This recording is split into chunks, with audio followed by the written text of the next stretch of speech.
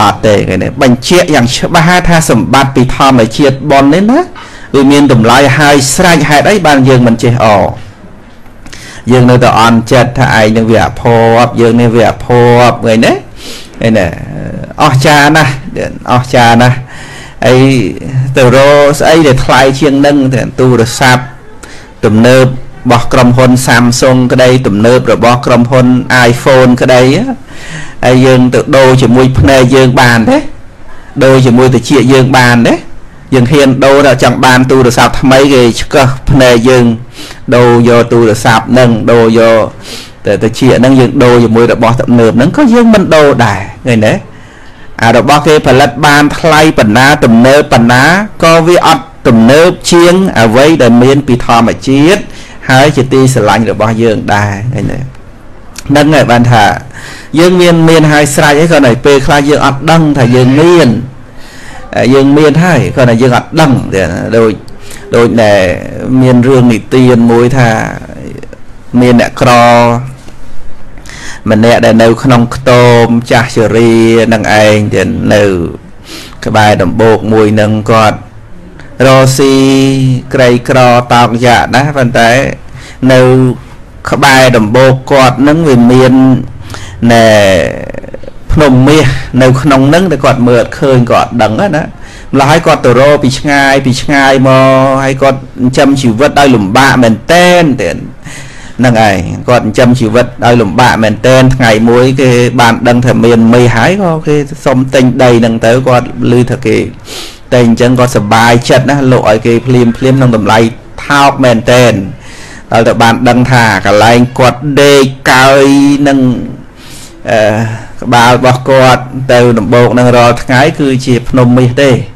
ហ្នឹងហើយតែគាត់ដឹងអស់កាលទៅយូរណាស់មកហើយឃើញទេសម្បត្តិនៅនឹងតែគាត់អត់ដឹងមកយូរហើយទៀតនេះជាគ្រាន់តែជារឿងឧបមាមកណា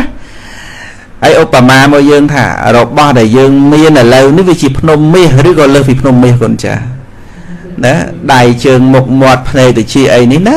វាលើសពីភ្នំមាសទៅទៀតដែលយើងកំពុងមាននេះណា ដូច្នេះគុណចាស់មានក្រអីញាតិយោមមានក្រអីអត់មានក្រអីទេ យើងកំពុងតែនៅជាមួយភ្នំមាសភ្នំពេជ្រដ៏មានតម្លៃដែលយើងកំពុងមានហើយយើងមានទៅក្រអីក៏តែពេលខ្លះយើងអត់ដឹងថាយើងកំពុងតែមានអីមានតម្លៃប៉ុណ្ណាយើងអត់ដឹងខ្លួនប៉ុណ្ណឹងទៅទេហើយដល់ព្រះសម្មាសម្ពុទ្ធប្រាប់អំពីកំណើតមនុស្សកើតបានដោយកម្រនេះហ្នឹងដែលយើងរៀបរាប់ពីសម្បត្តិមនុស្សទៅប៉ណ្ដឹងថាអូមានតម្លៃណាស់ អារបស់ដែលយើងខ្វះខាតបន្តិចបន្តួចហ្នឹងគឺយើងខ្វះរបស់ថោកថោកទេ ដូចជាខ្វះឡាន ខ្វះផ្ទះខ្វះលុយខ្វះស្អីស្អីហ្នឹងអាហ្នឹងខ្វះរបស់ថោកថោកទេអារបស់មានតម្លៃយើងមានគ្រប់អស់ហើយមែនទេញាតិញោមអាយើងខ្វះហ្នឹងខ្វះរបស់ថោកថោកទេខ្វះលុយ100000ដុល្លារខ្វះលុយ1លានដុល្លារក៏នៅតែខ្វះថោកថោកដែរមែនមែនឡើយយើងគិតមើលតាមហ្នឹងទៅ ហ្នឹងហើយចុះបើក្រន់តែយាយតាគាត់នៅនឹងភ្នំមាសក៏អត់ដឹងថាភ្នំមាសដល់គេដឹងទៅបានដឹងថាអូឯងវាអត់ដឹងស្ដាយក្រោយនេះស្ដាយហើយចុះឥឡូវសួរថាភ្នំមាសហើយនឹងភ្នែកនឹងមួយណាថ្លៃជាងភ្នែកយើងហ្នឹងគេឲ្យភ្នំមាសប៉ុន្តែគេគេចោះភ្នែកយើងទាំងពីរឲ្យខ្វាក់ទៅយើងព្រមទេហ្នឹងហើយដូច្នេះបញ្ជាក់ថាយើងវាកំពុងតែនៅជាមួយរបស់ដែលថ្លៃជាងភ្នំមាសទៅទៀត អានឹងយើងវិភាគមើលទៅបានយើងគូឲ្យសบายចិត្តនឹងអ្វីដែលយើងមានយើងសบายចិត្តជាមួយរបស់ដែលយើងមាននឹងស្រេចទៅយើងត្រេកអរហើយយើងគួរធ្វើម៉េចបើរបស់ដែលកំពុងមាននឹងល្អម្លឹងម្លឹងយើងគួរតែយកភ្នែកនឹងទៅសម្លឹងទោសអ្នកដតីដែរឬក៏អត់ញាតិញោមបើភ្នែកនឹងកើតពីប៉ុនល្អម្លឹងម្លឹងណាយើងគួរតែយកភ្នែកយើងនឹងតាមចាំតាមដានមើលកំហុសគេល្អទេ ហ្នឹងហើយដូចថាយើងមានពេជ្រពេជ្រមានតម្លៃណាស់មានមាសមានតម្លៃណាស់ខ្សែដៃខ្សែកហើយចាំយកគប់មន់គេលោមានឆ្កែមានមន់ណាចូលផ្ទះយើងចាំគប់យកមាសនឹងយកទៅគប់សមដែរយត់យកចំណាយមាសរបស់យើងចាំទុកខន់គប់ឆ្កែណាចូលផ្ទះមែនទេអានឹងវាមិនសមទេណាឬក៏ថា មើលយកពេជ្រមកក្របហ្នឹងចាំមើលអ្នកណាក្មេងណាដើរតាមផ្លូវវាអត់សូវសមតំណងអីអាងយកពេជ្រហ្នឹងទៅគប់វាឃើញទេយ៉ាងណាមិញណាពេលដែលយើងប្រើភ្នែកប្រើត្រចៀករបស់យើង ក្នុងការមើលទោសអ្នកដតីស្ដីបន្ទោសទៅអ្នកដតីឬក៏ថាចាប់កំហុសគេណាស្មើនឹងយើងក៏វែងពេចចោលយល់អត់ ណាស្មើនឹងយើងក៏វែងមាសក៏វែងពេចគប់ពេចគប់មាសចោលអញ្ចឹងឃើញទេដូច្នេះយើងស្ដាយណារបស់នឹងគួរតែធ្វើមិនគួរតែរក្សាណាមាសពេជ្រដែលយើងមានរកបានដោយកម្រតរំបានមកហ្នឹងគេរក្សាទុកណាគេដាក់ក្នុងប្រអប់ហើយញាត់ក្នុងទូដែកទៀតហើយគេលាក់អត់ឲ្យនរណាឃើញផងមិនងាយទេឃើញទេគេទុកដោយសម្ងាត់ណាស់ដែលមែនតែនសំបីមនុស្សជាទីទុកចិត្តហ្នឹងសឹងថាមិនចង់ប្រាប់ទៅទៀតឃើញទេ ថ្នាក់ថ្នមរក្សាខ្លាចបាត់យ៉ាងណាមិញណាយើងគួរតែរក្សានៅរបស់នោះ ដែលមានតម្លៃដៃជើងមុខមាត់អវយវៈមានភ្នែកត្រចៀកជាដើមនឹងយើងថែរក្សាឲ្យមានតម្លៃគឺប្រើប្រាស់របស់នឹងឲ្យបានទៅជាប្រយោជន៍ហ្នឹងហើយមានភ្នែកឲ្យបានទៅជាប្រយោជន៍យ៉ាងម៉េចយើងរៀនមើលទៅមើលអ្វីដែលជារឿងល្អល្អទៅ ហ្នឹងហើយអ្វីដែលជារឿងល្អល្អទៅដូចជាយើងអាចអានសិភៅធัวហ្នឹងហើយយើងអាចមើលណាអំពីចំណុចល្អរបស់អ្នកដតីត្រចៀកយើងក៏អញ្ចឹងយើងអាចស្ដាប់ធម៌យើងអាចស្ដាប់រឿងរបស់អ្នកដតីហើយយើងកុំទៅដោយថា ក្តៅក្រហល់កាហាយនៅពេលដែលយើងស្ដាប់នឹងពេកយើងថែរក្សាតិចយើងអញ្ចឹងយើងអាណិតតិចណាបើត្រចៀកហ្នឹងវាមានតម្លៃអីម្លឹងម្លឹងយើងគួរតែថែរក្សាតិចហ្នឹងឲ្យល្អមិនគួរណាប្រើប្រាស់តិចហ្នឹងស្ដាប់តែរឿងក្តៅក្រហាយហ្នឹងហើយរបស់អ្នកដតីទេបើតិចហ្នឹងថ្លៃម្លឹងម្លឹង ហ្នឹងហើយថ្លៃម្លឹងម្លឹងបើសិនជាអត់មានប៉ុនយើងមិនអាចស្ដាប់អីឮទេដូច្នេះយើងមិនគួរណាប្រើប្រាស់តិចរបស់យើងនឹងទៅស្ដាប់រឿងអត់ប្រយោជន៍អីច្រើនពេកទេតែបុគ្គលខ្លះនឹងចូលចិត្តតែស្ដាប់រឿងអត់ប្រយោជន៍រឿងក្តៅកាហាយពីអ្នកដតីទេណារឿងក្តៅកាហាយរបស់អ្នកដតីពីនេះពីនោះពីនេះពីនោះ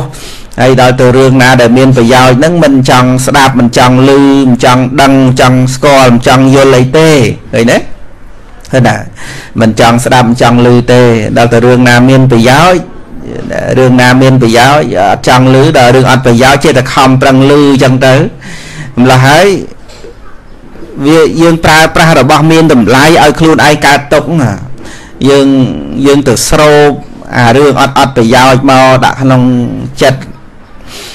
របស់យើងធ្វើឲ្យចិត្តរបស់យើងក្តៅក្រហល់កាហាយអញ្ចឹងទៅមិនសមទេអញ្ចឹងយើង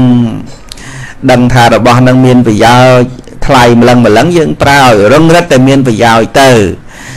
សំបីតែមាត់យើងនឹងក៏ដោយណាមាត់នឹងមានតម្លៃណាស់ញាតិញោមពិចារណាមើលទៅវាសិនជាយើងមិនអាចនិយាយកើតមិនដឹងជាយើងលំបាកប៉ុណ្ណាទេរាល់ថ្ងៃហ្នឹងណាឧទាហរណ៍ថា ញាតិញោមទៅកើតជំងឺអីមួយប្រតិកម្មស្អីមួយលេបថ្នាំអីខុសអីចឹងទៅស្រាប់តែប្រតិកម្មទៅវាហាមាត់និយាយលេងរួចពិបាកចិត្តដែរញាតិញោមបាក់ចិត្តទេចង់និយាយអីក៏និយាយមិនកើតចឹងអត់សុបាយចិត្តតតែសោះណាបាក់ចិត្តនិយាយមិនចេញចឹងនោះឃើញទេនិយាយមិនចេញពិបាកចិត្តហ្នឹងហើយតែឥឡូវញាតិញោមនិយាយចេញអត់និយាយចេញចង់និយាយអីនិយាយនឹងចង់ថាអីថាបានទាំងអស់ឃើញទេហ្នឹងហើយអញ្ចឹង អាពេលដែលយើងកំពុងតែមាននេះជួនកាលយើងអត់ដឹងតម្លៃញាតិញោមអត់ដឹងតម្លៃទេខ្ញុំមានក្មួយប្រុសមួយណែឥឡូវនៅកូរ៉េបាទគាត់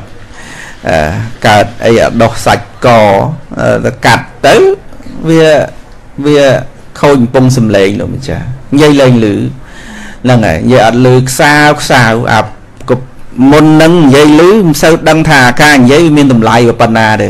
ដល់រឿងនិយាយលេងលឺមិនដឹងថាអូគូឲ្យសំណោះគ្នា ហាមាត់មកចេញស្អតស្អតចេញទៅខ្យល់មកណាពេលពេលហ្នឹងមិនដឹងថាអាការដែលយើងនិយាយលឺរៀងរៀងខ្លួនទេយើងនិយាយគ្នាបាននេះមានតម្លៃណាអាចង់និយាយចេញសំឡេង volume ប្រមាណក៏បាន ចង់ស្រែកក៏បានចង់អីក៏បានណាមិនគួរណាយើងប្រើប្រាស់សម្លេងយើងខ្ជះខ្ជាយទៅជាជេរទៅជាស្ដីទៅជាថាទៅជាឆ្លុះទៅជាទាស់តេងទៅជាស្រែកអាលេអាឡូអត់ប្រយោជន៍សោះ បើរបស់នឹងមានតម្លៃម្លឹងម្លឹងណាអង្គសោះតាមពិតទៅរបស់នឹងកើតពីបុណ្យហ្នឹងហើយម្លឹងម្លឹងណាយើងតើអញ្ចឹងបានដឹងថារបស់ខ្លះដែលយើងកំពុងតែមានហ្នឹងទៀតហ្នឹងហើយរបស់ដែលកំពុងតែមានហ្នឹងគឺមានតម្លៃណាគឺមានតម្លៃថ្លៃណាមានតម្លៃថ្លៃរកអីកាត់មិនបានទេថ្លៃណាស់ណាកាត់ថ្លៃមិនបានទេហ្នឹង អញ្ចឹងយើងគួរតែប្រើប្រាស់មាត់របស់យើងនឹងឲ្យបានជាប្រយោជន៍ផងទៅកុំចូលចិត្តនិយាយរឿងរ៉ាវហ្នឹងហើយដែលជារឿងអត់ប្រយោជន៍របស់អ្នកដតីហ្នឹងពេលខ្លះយើងប្រើប្រាស់មាត់នឹងក្នុងការនិយាយជាមួយបងប្អូនកូនចៅញាតិមិត្តទាំងអស់ហ្នឹងយើងប្រើប្រាស់ឲ្យអត់ប្រយោជន៍ដូចថាយើងនិយាយទៅតាក់ទងនឹងការនិយាយអាក្រក់ពីអ្នកនេះអ្នកនោះតាក់ទងនឹងទៅការនិយាយពាក្យមិនពិត ណាភូតផកុហកឆោបោកម្ដងនិយាយអញ្ចេះម្ដងនិយាយអញ្ចោះបាតដៃខ្នងដៃអីចឹងទៅវាវាបាត់បង់តម្លៃរបស់ខ្លួនឯងនឹងឯងដែលរបស់នឹងកើតពីបុណ្យល្អម្លឹងម្លឹងអាចនិយាយលឺលឺបាននេះមិនមែនរឿងធម្មតាទេញាតិញោមគិតមើលនោះយើង ណានិយាយចេញបានយើងគិតមើលមានដណ្ដាត មានថ្មិញក៏អូមមាត់ប៉ុណ្ណឹងចង់និយាយយ៉ាងម៉េចក៏បានអ្នកខ្លះចេះនិយាយដល់2 3ភាសាទៀតហ្នឹងហើយ4 10ភាសាក៏បានហ្នឹងហើយវាទំនើបប៉ុណ្ណាមាត់ប៉ុណ្ណឹងនិយាយបានសពគ្រប់ដោយកូនខ្ញុំសងអូនស្រីអូនចេះនិយាយកូរ៉េទៀតហ្នឹងហើយឃើញទេវាលយអញ្ចឹងឲ្យមាត់ប៉ុណ្ណឹងចង់បត់ទៅអាកូរ៉េក៏បាន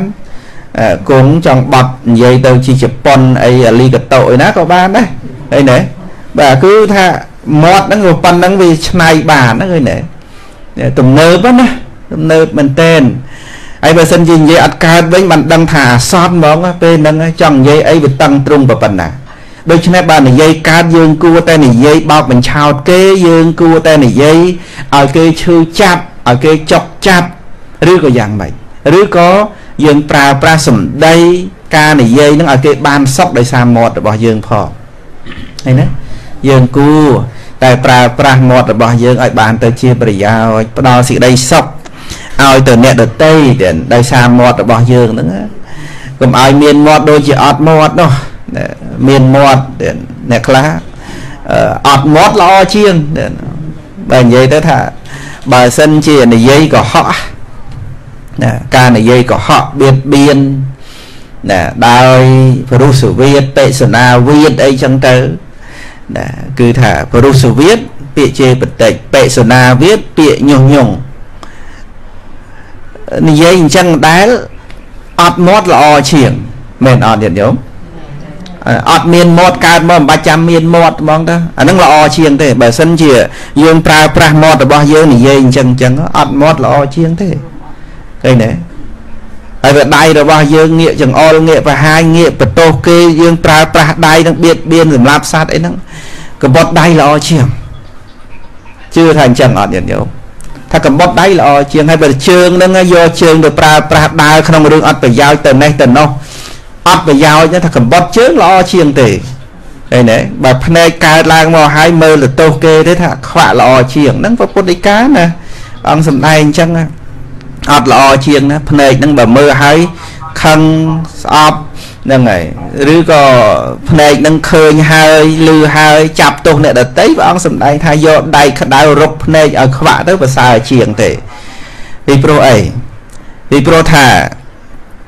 បើសិនជាយើងប្រើប្រាស់ភ្នែកនឹងឬក៏ដៃជើងនឹងធ្វើនៅរឿងអត់ប្រយោជន៍ណាវាធ្វើឲ្យខ្លួនឯងមានទោស ហ្នឹងឯងមានទោសដោយសារតែខ្លួនយើងនឹងណាប្រើប្រាស់នៅភ្នែកត្រចៀកចំោះអណ្ដាតកាយចិត្តឬក៏អវយវៈនឹងហើយធ្លាក់ទៅក្នុងអបាយភូមិក៏ដែរធ្លាក់នៅក្នុងអបាយភូមិដែរដោយសារតែប្រើប្រាស់នៅដៃជើងមុខមាត់នឹងឃើញទេអញ្ចឹង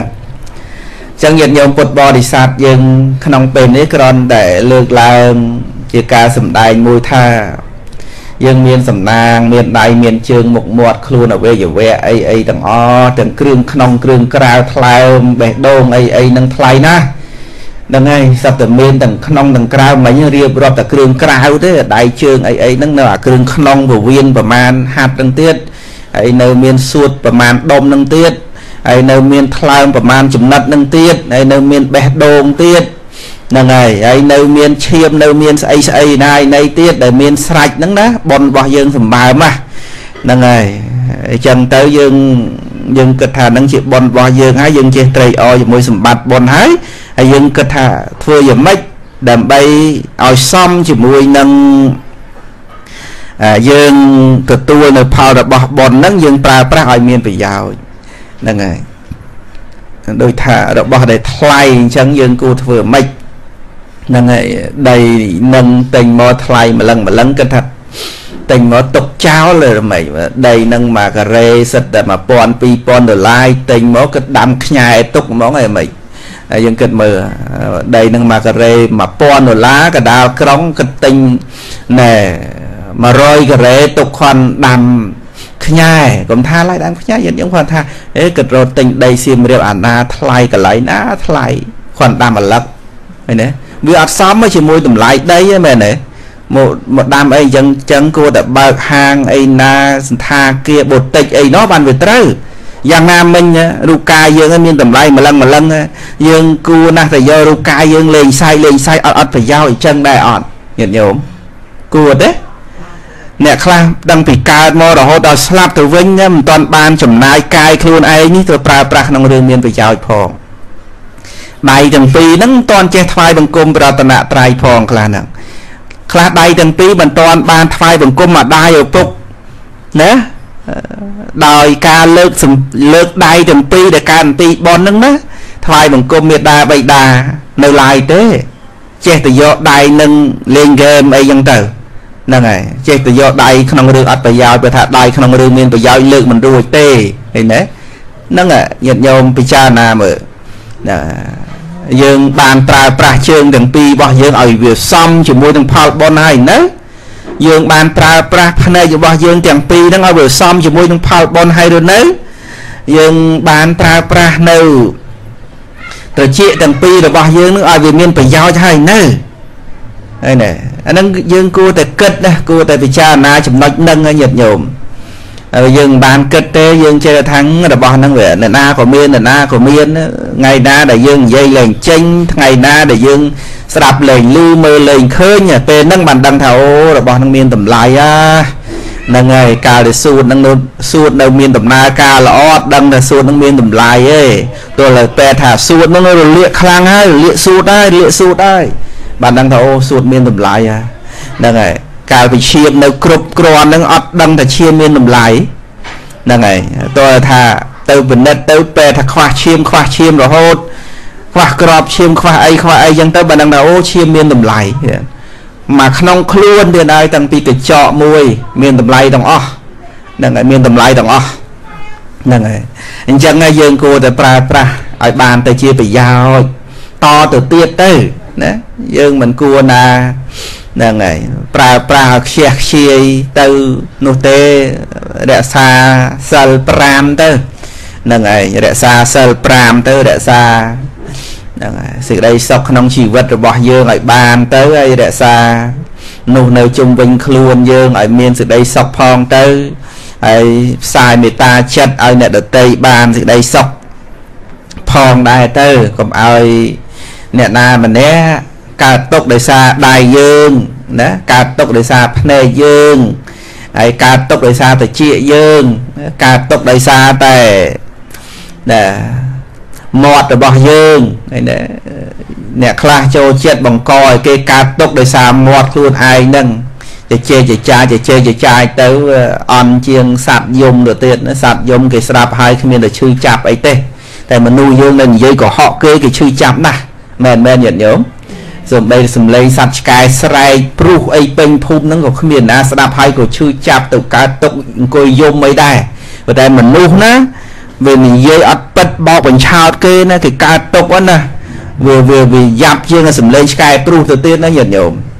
នឹងយើងគិតឲ្យដល់ទៅណាបានថាអឺបើសិនជាចេះនិយាយឲ្យគេបានសុកបានសុកណាតែបើនិយាយគេកើតទុកគេកើតទុកណាស់នឹងដោយសារលោកមាត់ហ្នឹងណា មាត់មាត់ហ្នឹងបានព្រះអង្គសម្ដែងឲ្យសង្រួមវាចាសង្រួមមាត់ហ្នឹងកុំចេះតែនឹកឃើញនិយាយនិយាយហោហែតាមអ្វីដែលខ្លួនឯងចង់និយាយអីក៏និយាយទៅទាំងដែលបៀតបៀនអ្នកដតីក៏និយាយទៅអាកុហកគេក៏និយាយទៅអានិយាយឲ្យគេកើតទុកអីណាឯណីក៏ចេះតែនិយាយទៅអាងទៅនិយាយលឺអានិយាយលឺមាត់អញមានណាហ៊ានថៃអញមាត់អញហ្នឹងណា មាត់អញហ្នឹងបើសិនជាអត់មានប៉ុនចាំតែនិយាយលឺតើមាត់ហ្នឹងនោះមានប៉ុនដែរទេអញ្ចឹងយើងកុំប្រើប្រាស់ផលរបស់ប៉ុនទៅសាងជាមួយបាបអញ្ចឹងអញ្ចឹងគឺថាអំណាចថាយើងមានរបស់ល្អល្អម្លឹងម្លឹងទៅហើយយើងទៅចលក់អីជាមួយរឿងអំពើបាបអាក្រក់នោះគេមិនដែលទិញឡាន500ចិត្តមកដឹកអាចគោទៅស្រែទេអញ្ចឹងគឺថាគេយកឡានហ្នឹងគេទុកសម្រាប់ ជិះក្នុងពេលមានមង្គលសបាយឬក៏ថាគេមិនដែលទិញឡានអីណាររយណាសម្រាប់ដឹកស្មៅឬក៏សម្រាប់ដឹកសម្រាមអីអីនោះទេណាគេជិះសម្រាប់ក្នុងពេលពិធីរបស់គេអញ្ចឹងទៅនឹងឯងអីអីសួរតាឡាន570ររយស្អីស្អីអាថ្លៃថ្លៃខ្ញុំមិនមានទេអាហ្នឹងតែគាត់ដឹងហើយសួរថាឡានហ្នឹងហើយជីវិតយើងមួយណាថ្លៃជាងញាតិញោម ហ្នឹងហើយហើយកុំថាដល់ជីវិតតែក្បាលយើងមកកណាត់កហ្នឹងទៅលើហើយឡានររយមួយហ្នឹងកណាថ្លៃជាងញាតិញោមបាទឥឡូវឥឡូវដូរថ្លើមមួយយើងដូរទេររយ70ម៉ឺនដុល្លារ1លានដុល្លារយើងសុំដូរថ្លើមួយអត់ដូរទេពិតមែនតែញាតិញោមអាយុប៉ុណ្ណឹងក៏ដោយមែនទេហ្នឹងហើយឃើញទេបាទគឺថាមិនដូរទេអើគេសុំជូនឡានររយមួយប៉ុន្តែគេកាត់សួតយកទៅអត់ដូរទេ ឃើញទេអញ្ចឹងខ្ញុំឧបមាទៅឡានថាមិនគួរណាយកឡានទៅដឹក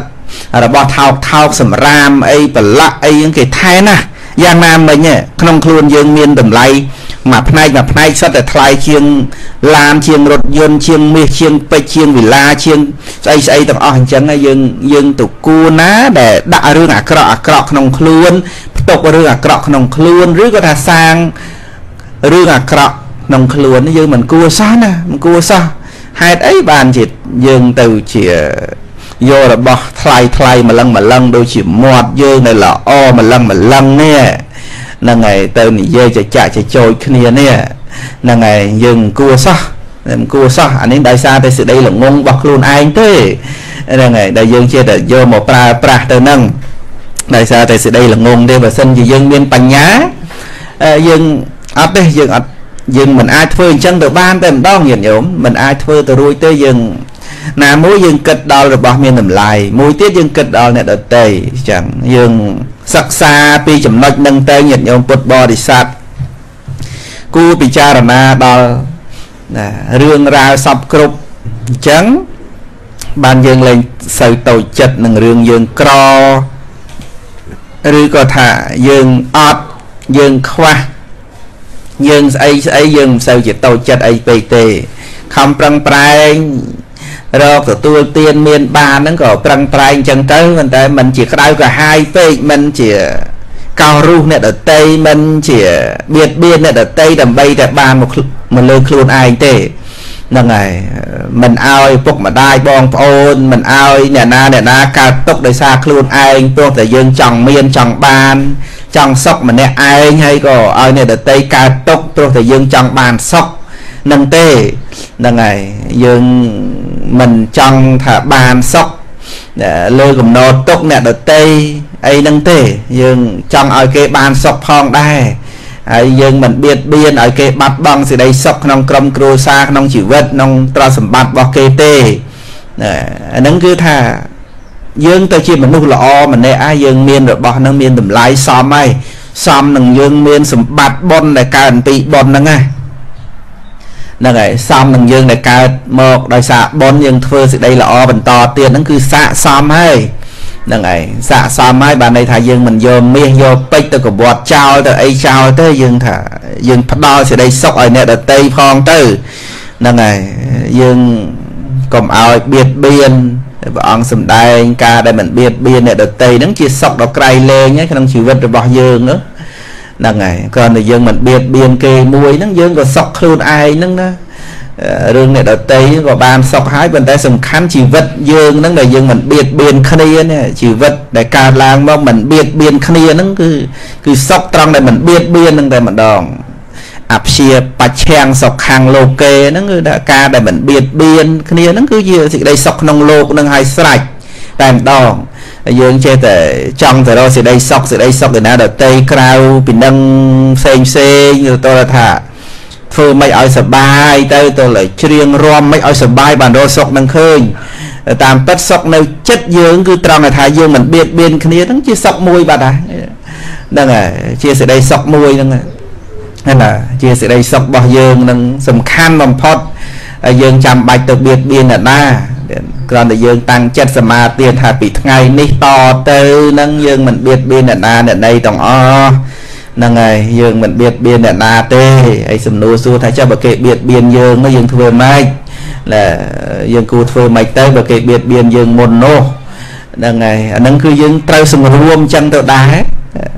ព្រោះវាមានបកគលខ្លះមានពីរបៀតបៀនគ្នាទៅវិញទៅមកអីចឹងទៅសួរថាបើយើងបៀតបៀនតទៅវិញហ្នឹងវាបានសុខអីទៀតភ្លើងប៉ះនឹងភ្លើងវារឹងរិតតែឆេះសន្ធោសន្ធៅហើយយើងកាត់បន្ថយទៅ ហ្នឹងហើយកាលណាបើគេមកភ្លើងយើងទៅជាទឹកវិញទៅវាឆាប់រលត់ប៉ុន្តែបើភ្លើងទាំងសងខាងវាកាន់តែឆេះសន្ធោសន្ធៅទៅហ្នឹងវិធីសាស្ត្រដើម្បីកាត់នៅពីវេរាព្រះអង្គសំដែងអត់ឲ្យបានយើងព្រះអង្គហាមអត់ឲ្យយើងគិត ចងគំនុំអ្នកណាជេរអញអ្នកណាជពាក់អញអ្នកណាលួចរបស់អញណាវីអញព្រះអង្គមិនឲ្យគិតផងអាកោជីម៉ាំងអាវៈធីម៉ាំងអាជីនេះម៉ាំងអាហាសេមេនោះព្រះអង្គមិនឲ្យគិតយ៉ាងផងដល់កាលណាគិតអូនេះឈ្នះអញនោះវាយអញនោះជេរអញនោះលួចរបស់អញអញ្ចឹងពីរអត់ស្ងប់ទេអញ្ចឹងព្រះអង្គសម្ដែងឲ្យយើងនឹងសក់ចិត្តទៅហ្នឹងហើយអ្នកណាបានជាបៀតបៀនយើងហើយក៏យើងមិនតាំងចិត្តបៀតបៀនអីតទៅវិញដែរ យើងយើងព្រមទទួលនៅផលកម្មរបស់យើងឲ្យវាសុខស្រួលចឹងទៅហ្នឹងហើយយើងមិនទៅបង្កជាកម្មពីវរិយហ្នឹងហើយទៅជាការដែលថាសងសឹកអីអីហ្នឹងក៏អត់ដែរយើងមិនសងសឹកទេយើងមិនបង្កអាភាពសងសឹកវឹកវរឲ្យវាមានរឿងចំលោះឆ្លោះតោះគ្នាអី ក៏អត់ដែរឃើញទេនឹងឯងជាសេចក្តីសុខក្នុងជីវិតរបស់យើងហ្នឹងហ្នឹងយើងអត់ដឹងថាសេចក្តីសុខនៅឯណាតាមពិតសេចក្តីសុខនៅក្នុងចិត្តយើងនេះពិតពិតតែយើងអត់ចេះសាងទេអត់ចេះសាងមាសនៅក្រោមក្រែយើងយើងអត់ដឹងហ្នឹងហើយគឺថាសេចក្តីសុខនៅក្នុងចិត្តនឹងទាំងអស់ហ្នឹងក៏តែយើងអត់ចេះគិតយើងចេះគិតឲ្យត្រូវតែបន្តិចទៅសេចក្តីសុខនៅចិត្តនឹងហ្នឹងឯងអត់មាននៅណាឆ្ងាយទេគ្រាន់តែចិត្តយើងសុខស្ងប់ ហ្នឹងហើយមិនលោភលន់ពេកមិនក្រោតពេកមិនចង់គំនុំពេកហើយយើងខឹងវាខឹងខ្លះហ្នឹងហើយវាថុចជន់នោះមិនដែលថាឲ្យវាឆាប់បាត់ទៅឆាប់ស្ងប់រងាប់ទៅកុំឲ្យវាបង្ងាស់អាខឹងហ្នឹងនៅយូរនៅហ្នឹងណាហ្នឹងហើយវានៅជាគុំគួនជាគំនួចពឹសអីពេកហ្នឹងវាឆាប់បាត់ទៅហ្នឹងឯងនឹងសេចក្តីសុខនៅចិត្តនឹងតើយើងមានតរសេចក្តីសុខនឹងមកពីណាទៀត ញាតិញោមពិចារណាមើលទៀតដីសុខនឹងនៅចិត្តនឹងឯងអត់តរសេចក្តីសុខនឹងក្រៅពីចិត្តនឹងទេនៅក្នុងចិត្តនឹងតើគាត់តែយើងអត់ដឹងយើងជាតែគិតថាអូសេចក្តីសុខនឹងនៅណេះនៅនោះតើតែបានរបស់ឲ្យនោះមករបស់ឲ្យនោះមកអីចឹងទៅបានបានសុខអាហ្នឹងយើងសម្គាល់ខុសទាំងអស់អឺយើងចេះតែគិតថាឈ្នះអ្នកនេះឈ្នះអ្នកនោះយើងបានសុខតែអត់អត់អញ្ចឹងណាសេចក្តីសុខគឺនៅត្រង់នៃថាយើងធ្វើសេចក្តីសុខក្នុងចិត្ត ចិត្តដែលយើងបានធ្វើសេចក្តីល្អធ្វើបុណ្យដូចជាក្នុងខណៈនេះកូនចៅប្រុសស្រីទាំងអស់ដឹងគុណមេដាបិតាអីចឹងទៅមុនប្រសងអីចឹងទៅសេចក្តីសុខកើតឡើងក្នុងចិត្តដែលកើតអំពីការគោរពគុណនេះសេចក្តីសុខហ្នឹងឃើញទេសេចក្តីសុខផ្លូវចិត្តរបស់យើងដូចថាសុខហើយកើតអបិតេប្រែថាការរីករាយឆ្អែតកាយឆ្អែតចិត្តនឹងសុបាយចិត្តអញ្ចឹងទៅទៀតទៅ ឃើញទេសេចក្តីសុខផ្លូវចិត្តដោយសារឃើញព្រះសង្ឃនិមន្តមកសត្វបរោះលោកយាយលោកតាអញ្ជើញមកអញ្ចឹងទៅស្ដាប់ពធទៅសេចក្តីសុខហ្នឹងហ្នឹងជាសេចក្តីសុខនោះដែលហើយសេចក្តីសុខហ្នឹងវាអត់មានផលជាពឹសទៅទៀតវាខុសអំពីអាសេចក្តីសុខដែលយើងបានដោយកាមគុណឬក៏ដោយរឿងបញ្ចវិរិយការកាប់ការសម្លាប់ការលួចការប្លន់ឬក៏ថា កេងប្រវាញ់ឬក៏សុខដោយ ការប្រើប្រាស់របស់ខុសច្បាប់អីផ្សេងផ្សេងហ្នឹងណាអានឹងសេចក្តីសុខដែរប៉ុន្តែវាមានផលជាទុកដល់សេចក្តីសុខនេះគឺបានផលជាសុខទាំងនៅក្នុងโลกនេះនៅក្នុងโลกខាងមុខទៅទៀតឃើញទេអញ្ចឹងសេចក្តីសុខសរុបរួមមកគឺថានៅក្នុងចិត្តដែលយើងអប់រំឲ្យត្រូវកាលណាបើយើងអប់រំចិត្តត្រូវសេចក្តីសុខវាកើតឡើងក្នុងចិត្តហ្នឹងហើយមិនបាច់ចាំទៅរកសុខឯណាទៀតទេក្រៅពីចិត្តដែលព្រមចិត្តដែលសុខហ្នឹងណាដូចស្ដាប់ រឿងរ៉ាវឧទាហរណ៍មិញហ្នឹងគឺថាសុទ្ធតែហេតុនាំឲ្យយើងកើតមាននៅសេចក្តីសុខឲ្យយើងព្រមកុំឲ្យគិតថាក្រកុំឲ្យគិតថាខ្វះកុំឲ្យគិតថាវាក្រជាងនេះក្រជាងនោះអីមិនបាច់ទេសេចក្តីសុខក្នុងចិត្តរបស់យើងណាសេចក្តីសុខផ្លូវចិត្តរបស់យើង ដោយមិនចាំបាច់មានស្មើគេក៏យើងបានសុខដែរឃើញទេហ្នឹងឯងដីសុខ ក្នុងចិត្តរបស់យើងទេណាមិនចាំបាច់យើងមានស្មើគេក៏យើងបានសុខដែរមានអ្នកខ្លះថាងសេចក្តីសុខរបស់យើងវាតលតែមានឲ្យស្មើគេបានបានសុខតាមពិតអត់ចាំបាច់ដល់មិនដឹងទេសេចក្តីសុខរបស់យើងអត់ចាំបាច់មានស្មើគេទេហ្នឹងហើយហើយអត់ចាំបាច់មានរបស់នឹងទើបយើងបានសុខទេអត់ក៏បានដែរឃើញទេអត់ក៏បានដែរអត់ក៏បានសុខដែរ ឧទាហរណ៍ថាក្តីសុខព្រោះយើងមានឃើញគេមានផ្ទះធំអូយើងគិតថាតើមានផ្ទះធំឲ្យដូចគេធំណាណីទៅមានតែ100បន្ទប់200បន្ទប់អីចឹងទៅ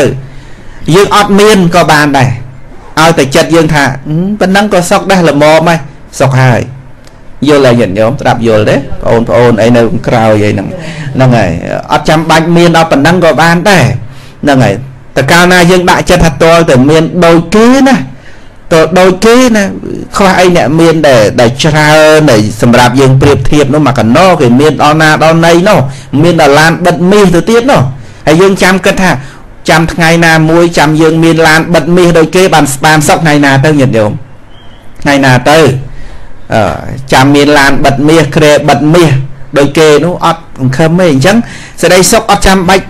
ដល់ថ្ងៃនឹងឯថាតើតែមានឡានបិទមាសបិទពេជ្រ ឬក៏ថាមានអវ័យសពគ្រប់ទេអាកំពុងតែអត់អវ័យសពគ្រប់នឹងណាក៏យើងបានសុខដែរឲ្យតែចិត្តនឹងព្រមថាប៉ុណ្ណឹងក៏បានដែរសេចក្តីសុខកើតឡើងពីការសន្តោសព្រមហើយអត់ចំណែនគេទៀតណែសេចក្តីសុខព្រោះអត់ចំណែនឃើញគេមានទៀត អូអានឹងសុខសម្បើមហ្មងទៅឃើញគេមានលៀបមានយសមានទ្រព្យមានសម្បត្តិអូទៅអូគេបានសុខទៅណាគេបានសុខគេស្រួលគេឲ្យយើងសប្បាយចិត្តនឹងគេបានសុខទៅយើងវាបានឲ្យចំណែកសុខក្នុងចិត្តយើងដែរ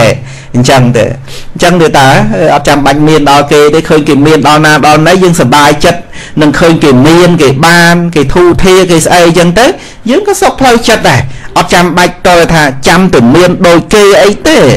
ក្តីសុខផ្លូវចិត្តយើងហ្នឹងគឺគឺនៅត្រង់ដែលយើងចេះអប់រំអប់រំឲ្យត្រូវទៅសេចក្តីសុខកើតឡើងហើយហ្នឹងហើយនេះជាធម្មទានប៉ុណ្ណឹងទៅចោះប្រហែល10:40អឺសម្រាប់ពេលវេលាប្រគេនចង្ហាន់ប្រសង់ហើយតទៅទៀតអញ្ចឹងទៅហើយហ្នឹងហើយញាតិញោមពុទ្ធបរិស័ទស្ដាប់ធម៌បន្តិចប៉ុណ្ណឹងទៅមានសេចក្តីសុខផ្លូវចិត្តអីខ្លះទេញាតិញោមហ្នឹងហើយចាំបាច់ថាតលតែមានផ្ទះប៉ុណ្ណឹងដូចញោមសងបានបានសុខទេចាំបាច់ក៏បានដែរចាំបាច់ទល់តែមានស្អីស្អីធំដុំឯណាអីណាក៏អត់ក៏បានដែរណាអាហ្នឹងតើយើងរៀនឲ្យជ្រៅបន្តិចបានយើងយល់ពីចំណុចហ្នឹងរៀនឲ្យយូរទៅបានហ្នឹងតើអត់ក៏បានដែរដោយគុណចាស់គ្រប់ព្រះអង្គគុណចាស់មានផ្ទះប៉ុណ្្នឹងដែរទេ អត់ទេលោកមានវត្តហ្នឹងវត្តហ្នឹងជារបស់សង្ឃមិនរបស់គុណចាស់តខ្លួនទេណាតែលោកមានសេចក្តីសុខទេ